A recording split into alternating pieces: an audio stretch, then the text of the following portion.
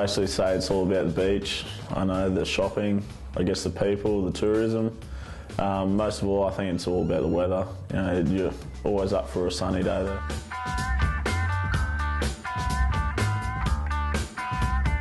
I actually played there last year against Canada with a few of the boys. So, yeah, I've been there, played there, and I really enjoy the uh, the um, stadium. It's really nice. It's small, but yeah, you're right. It's you know built in on top of each other, and you know not much sound um, escapes that joint. So, uh, no, it's a really enjoyable place to play, and and um, I'm sure it will be against Argentina.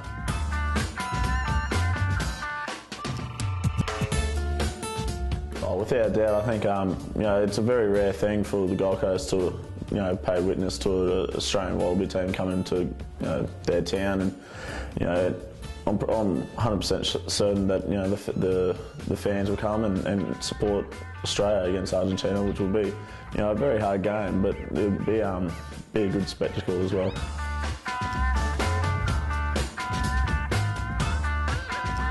Without doubt, um, knowing the Argentinians, you know, I saw them at the World Cup. We didn't play them, but they were definitely there, you know, in force, and they, they love supporting their team. They're a very, very passionate country, and um, I'm 100% certain that they're going to turn up and put on a show for us.